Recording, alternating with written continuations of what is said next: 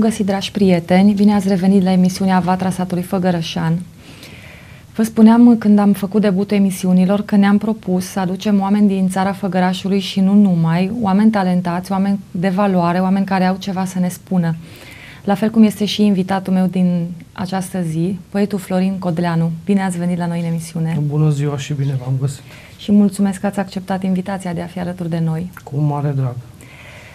Uh, tânăr, pasionat de o grămadă de lucruri, pescar, vânător, gătit, drumeții. Poetul uh, Florin Codleanu scrie, scrie, scrie zi și noapte, caiete întregi de versuri. De unde aveți atâta inspirație și de câtă vreme scrieți? Uh, în primul rând, uh, inspirația, sursa cea mai mare de inspirație vine din natură și din visuri, din dorințe, care unele au fost împlinite sau nu au fost. Visuri în ideea de... Uh, Dorință. Am înțeles. Am în fața mea șase volume de poezie. Eu vreau să specific și să uh, accentuez publicului. Sunteți foarte tânăr. Scrieți de cam câți ani, aproximativ câți ani în urmă? Aproximativ uh, 6-7 ani. Deci de șapte ani aveți patru volume de poezii scoase și trei antologii. Este adevărat. O să vă rog să-mi spuneți neastră, să-mi prezentați uh, cărțile pe care eu le am în față. Prima carte, Cioburi de iubire. Și eu vă întreb, de unde titlu? De ce cioburi?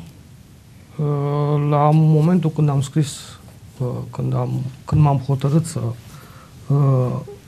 lansez această carte, eram undeva departe și totul în sufletul meu era ciobit, dar se, se, se referea și la acea iubire de care duceam uh, lipsă, care îmi doream să fie și uh, de aceea am, uh, am început cu cioburi de iubire direct pe Facebook, pe pagina Cioburi de iubire și dacă acolo am fost încurajat să scriu și să scriu și să scriu și să public, am hotărât ca și cartea să poarte același nume.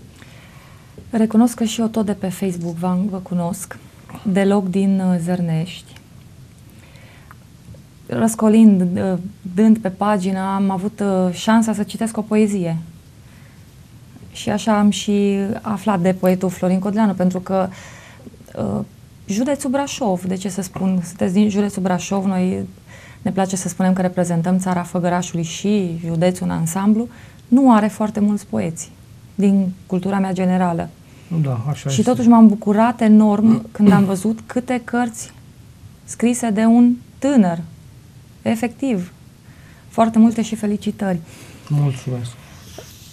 Am găsit de curând deci cele mai multe cărți pe care eu le am în față vorbiți despre iubire. Iubirea scrisă, transpusă în toate modurile și felurile. Și totuși, ce vă determină să scrieți cu atâta patos despre iubire? Ce vă inspiră? Uh. Oricine trebuie să aibă o inspirație, să vină de undeva dorința asta. După cum am spus și la început, din uh, uh cele mai multe versuri vin din uh, dorința de a, a trăi o iubire necondiționată. Adică uh, să poți face orice pentru cel de, de lângă tine. Cum și spun în multe metafore, în multe versuri, că acea iubire aș căuta-o și în uh, altă lume, dacă există, sau în altă viață. Iubirea care o căutăm de fapt cu care toții. o căutăm cu toții. Da, exact. și îmi permit și eu să recit uh, o poezie care se numește Pentru tine, parte din poezie, ce mi se pare mie superb. Din ce lumi, din ce castele, din ce viață te cunosc, de ce mi-ești atât de dragă și din suflet te iubesc. O iubire cât o viață, cât un secol, cât o mare, mă trântește de pământ, mă ridică în picioare. Se pare că exact cum noi venim pe pământ să iubim. Absolut. Uh, și din păcate, iubirea asta pe care o căutăm de cele mai multe ori nu o întâlnim. Eu aș întreba, uite, văd următorul când, uh, carte, cu gândul la tine. Cu gândul la cine? Cu gândul la oricine ar fi putut fi sau ar putea fi. Și pe spatele cărții te regăsesc prin vise și prin gânduri, cum mă aștepți pe câmpul înversit, să traversăm spre lumea fericirii, să te iubesc așa cum ți-ai dorit. Eu am o întrebare personală. Un om care iubește cu adevărat, care iubește așa din tot sufletul lui, părăsește? Este capabil să plece? În opinia mea, strict ce ține de mine, eu zic că nu. Dacă iubești, cu, cum am spus, ne, necondiționat, nu, nu ar exista să pleci de lângă cineva pe care îl iubești cu adevărat necondiționat. Așa este. Pasiunea pe care o aveți pentru pescuit, vânătoare, tot ce înseamnă activități în natură, vă, vă inspiră în ceea ce da, faceți? La fel, am, am mai spus, principala sursă a inspirației vine din natură, din câmpie, din flori, din cer, din stele, din lună, din soare, din noapte, din vânt, din ploi. Toate împreună? Toate împreună mă inspiră foarte mult. Așa și aș întreba, uh, de ce scrieți? Că toate chestiile astea poate să, pot duce și la cântec și totuși scris. Eu uh, am ales să scriu în, în primul rând pentru eliberarea su, sufletului. Mă, mă deconectez de toate grijile și de orice mă agită uh, scriind. E, e ceva Care sunt fantastic. momentele din zi în care aveți cea mai multă inspirație? Sau din noapte? Sau uh, când? Vreau să vă zic că 80% din versuri sunt scrise noaptea. Noaptea când nu, când nu pot dormi, mă ridic, mă așez la masă cu, cu un creion și cu caietul și uh, scriu. Pur și simplu scriu. Da, superb. Sunt uh, mii de tipuri de iubiri pe care poeții, muzicienii le prezintă în ceea ce fac. Iubirea de mamă, iubirea de frați, iubirea de prieteni. Eu aș vrea să vă întreb despre iubirea care înalță și iubirea care te face să crezi. Este o diferență, nu? Absolut. În, între fiecare iubire care o simțim pentru cineva sau pentru ceva este o diferență.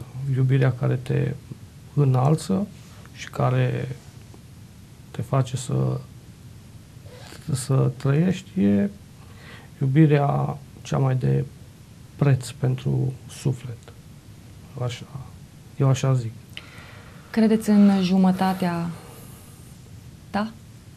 Există jumătatea noastră a fiecăruia undeva? Eu zic că cu siguranță fiecare avem jumătatea undeva într-un loc.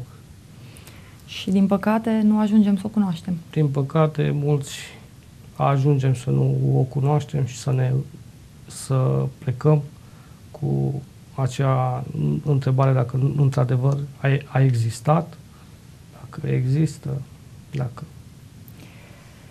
Sentimente în culori, cea de-a doua carte pe care ați scris-o. Este o carte pe care o iubesc. Este o carte care este scrisă 100% în natură și am, am scris-o vara, de aceea am ales să îi pun uh, acest titlu de sentimente în culori, pentru că în locul unde stau eu este un spectacol de culori. Și vara, și iarna, și toamna. Și... Am înțeles. Sentimente, sugestiv titlu și v-aș întreba ce culori au sentimentele și nu vă întreb de sentimentul de iubire, vă întreb de sentimentul de așteptare. Uh, sincer să fiu, uh, în opinia mea și pentru mine, sentimentul de așteptare e uh, un cer înnourat, adică un gri. Pentru că stai și tragi nădejde să vină ceva, nu se știe ce, de unde, Exact. cum și în ce fel, dar trebuie să vină. Exact. În orice caz, uh, sentimentelor cum ar fi ele au culori. După Da. Da, am observat uh, pe Facebook când v-am studiat fro- profilul, absolut la, aproape la fiecare poezie pe care o publicați, atașați o fotografie foarte sugestivă. Nu pot să arăt uh, telespectatorilor ce am văzut eu, pot să recomand uh, pagina de Facebook uh, a poetului Florin Codleanu, ca să înțeleagă la ce mă refer eu, de unde vă vin ideile cu fotografiile acelea. Păi, uh, după ce termin o poezie și o recitesc și vreau să o postez, atunci o citesc și o citesc și încep să caut o fotografie care simt eu că ar fi potrivită pentru acele versuri. Și publicați. Și apoi le public, da. Da. Ce greșim noi oamenii, toți, cred că în felul nostru, de nu ajungem să trăim iubirea adevărată? Uh, această întrebare e, e pentru fiecare personal. Eu, eu zic că probabil uh, timpul sau viața pe care ne-o facem ajung, uh, ne duce să nu găsim iubirea sau să uh, pro, probabil și voia sorții este își pune o amprentă cât uși de cât pe asta. Da, vreau să vă întreb despre mama dumneavoastră. Ce părere are de faptul că scrieți? Uh, Sau dacă familia v-a susținut și v-a inspirat în hotărârea asta de a scrie? Da, sigur. Uh, Ma, mama mea e o dulce și în, întotdeauna m-a, m-a, susținut, m-a susținut în orice decizie am luat, în orice am ales să fac în viața asta. De aceea ea n-a avut niciodată nimic împotrivă, chiar și uh, când am început să scriu și prietenii au început să vadă mulți, au zis că am început să bat câmp, câmpii știind ce uh, fire eram înainte să scriu. Adică aceeași fire am, o am și acum. Doar că atunci nu mă arătam, nu știau și in, interiorul. Da, cumva ați anticipat și întrebarea mea cu prietenii, pentru că mă gândesc eu așa un vânător, un pescar. Nu prea se potrivește cu meseria asta de poet, nu? Nu știu ce să zic, dar uh, pe mine chiar mă, chiar mă prinde. Mergând prin păduri, mergând prin pe bălți, pe marginea râu, râului, orice, orice lucru, orice vietate, orice Vă inspiră mă să scrieți. poate in- inspira. Chiar și pietrele din apă, chiar și o apă tul- tulbure, chiar și o apă lim- limpede, o cascadă, o floare, un fluture, Toate orice. sunt corect, sursă de inspirație. Exact. Da. Am în față antologia, prima antologie, nu? Steaua Severinului. Severinului. De unde numele acesta cu Steaua Severinului? Steaua Se- Severinului e, uh, practic este o revistă a, Se- a Se- Severinului. Și am fost in- invitat de uh, un domn să particip și eu. Da, și aveți aici uh, câte publicații? Uh, 10 po- poezii sunt. 10 poezii. Steaua Severinului cu o nuanță superbă, apropo de sentimente în culori, Da. ca și copertă. Foarte frumos. Anotimpul poeziei, cea de a 5... Cea de-a, cel de-al patrulea volum de versuri al meu, Anotimpul poeziei. Pentru începutul unui nou început, rămâi un curcubeu în mii de culori, a mea în fiecare vers, în fiecare floare, în fiecare stea sau în fiecare raza soarelui etern. Ce anotimp are poezia? Uh, Eu încerc să combin toate patru an, anotimpuri și să fac un al cincelea an, anotimp pentru fiecare poezie. Adică poezia aparține fiecărui anotimp și încă unul în plus. Exact. Mereu, mereu, mereu. mereu. mereu, mereu. Exact cum spun, scrie, scrie, scrie. Uh, da. Apropo de imagini, este imaginea pe care ați ales-o noastră de pe carte? Exact. Da, ce spuneam telespectatorilor mai devreme, că sunt uh, asociate niște imagini superbe la fiecare titlu de carte sau de poezie publicată. Și văd și eu aici, am deschis la întâmplare de dragul tău copilărie. La fel cum mai devreme am văzut o poezie despre mamă. Eram copil, iubeam mai mult pădurea și nu știam de dragoste și dor. Mă întâlneam cu luna prin hotare și ascultam un glas al munților. Iubiți muntele? Cel mai mult face parte din copilăria mea și din uh, sufletele celor care nu mai sunt pe lângă mine.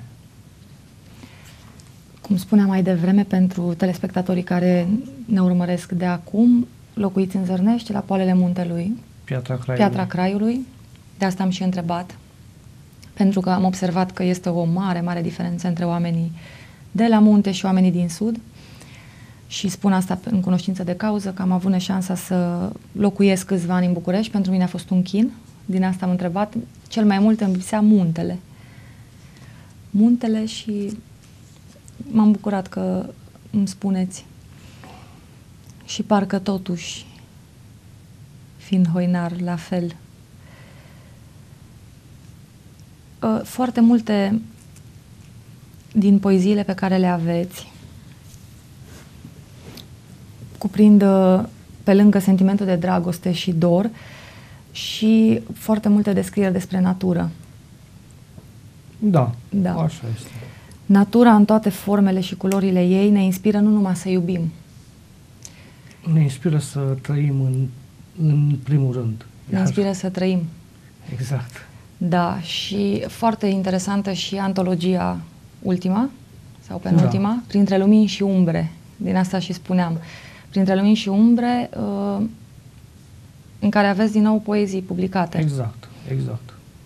Aveți uh, pe cineva care vă ajută să le scrieți? Bănuiesc că scrieți uh, de mână, nu? Da, eu încă sunt pe uh, scrisul clas, clasic cu creion, gumă de șters și un caiet.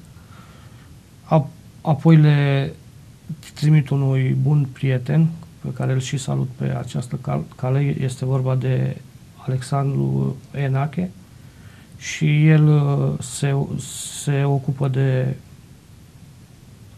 Partea de transcriere redactare. și de... Da.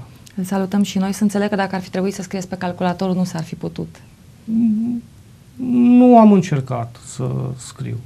Eu mă bucur sau t- intenționat întreb pentru că generația noastră este o generație la viteză. Și din păcate nu mai știm să scriem, nu mai știm să vorbim, nu știm să ne bucurăm, Exact. nu știm să trăim. Exact. Eu uh, nu cred că o să renunț vreodată la scrisul de mână. Nu știu, așa. uh, Acum, cel puțin, gând, gândul meu și gândirea mea asta e să continui să scriu de mână. Să scriu și să scriu de mână. Atât. Și am înțeles că mai, av- mai este un volum pe care nu l-am eu aici, din păcate. Da, este tot o antologie. Uh, Primul vol, uh, volum al uh, an- antologiei Printre Lumini și Umbre, uh, care tot la fel a coordonat uh, domnul Enache și cu ăsta. Am înțeles. Aveți uh, în plan să scrie și alt gen Da. decât poezie?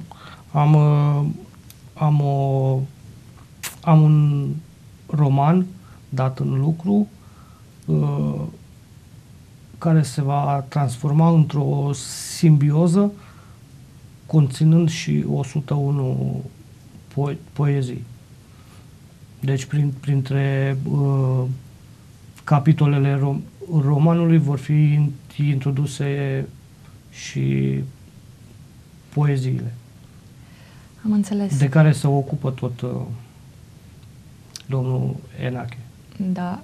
Dacă l-aș întreba acum pe poetul Florin Codleanu, poetul, care este esența vieții după dumneavoastră? Ce ar trebui să ne bucure? Și cum trebuie să ne ducem noi viața asta de zi cu zi ca să nu mai fim așa zbuciumați? Să ne bucure viața zi de zi.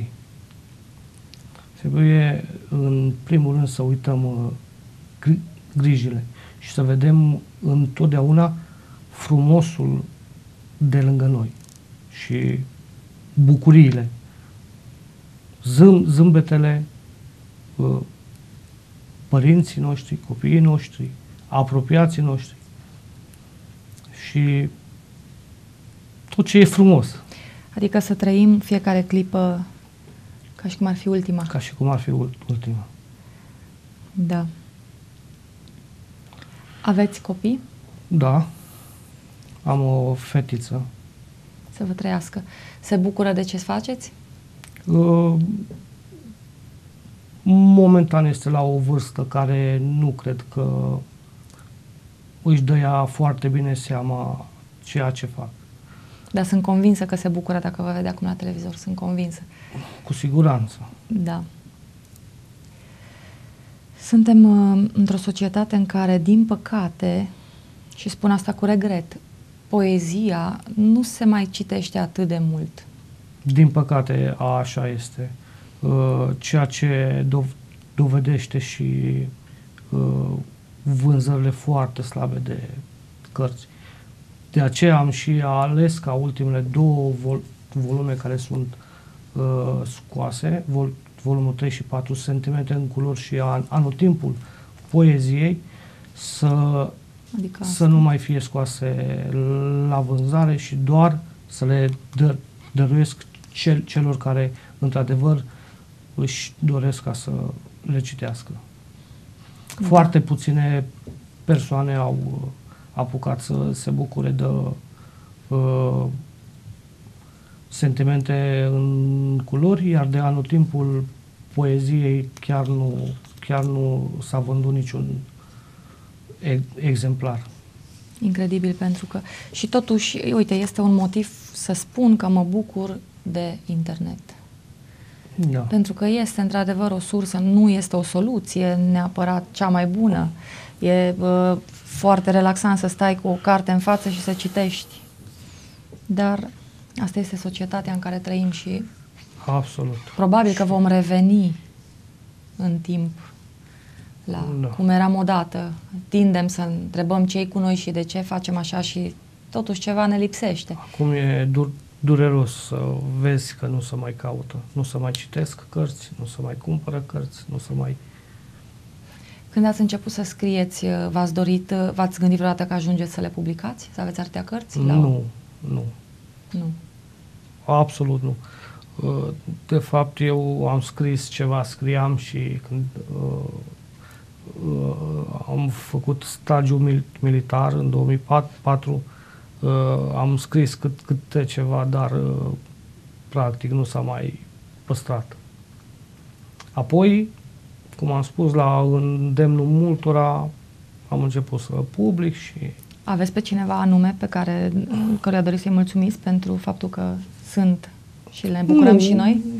Cel, celor care îmi citesc poeziile de când am început, de 2015, cred că am început să le public și sunt per, persoane care mă încurajează la fiecare po- poezie și sunt alături. Inclusiv eu, personal, mă bucur de poeziile dumneavoastră și Vă mi se mulțumesc. par superbe. Misiunea noastră se încheie aici. Vă mulțumesc pentru audiență. și pentru vizionare. Mulțumim pentru participarea în emisiune. Vă dorim succes în tot ce faceți. Vă mulțumesc frumos. Și de ce nu vă așteptăm și într-o altă emisiune, probabil cu romanele. Cu tot dragul. Da. Mulțumim frumos. Uh, nu uitați, veșnicia s-a născut la sat. Iubiți-vă tradițiile, iubiți-vă obiceiurile. Iubiți poezia, de ce nu și citiți poezii, pentru că sunt uh, frumoase, sunt profunde și um, um, ne învață foarte multe lucruri pe care noi nu le știm sau pe care am crezut că le știm, dar nu le știm cum trebuie. O zi frumoasă în continuare. Thank you.